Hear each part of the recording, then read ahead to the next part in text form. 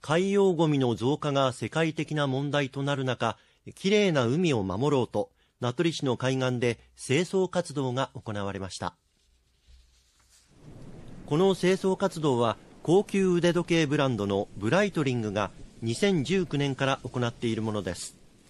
今日は名取市の閖上海岸でおよそ40人の参加者が海岸に漂着したペットボトルや漁網などのゴミを拾いました。プラスチックのちっちゃいゴミがとてもよく目につきましたね。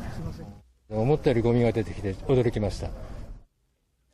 回収したゴミは45品目に細かく分別され結果がデータ化されました。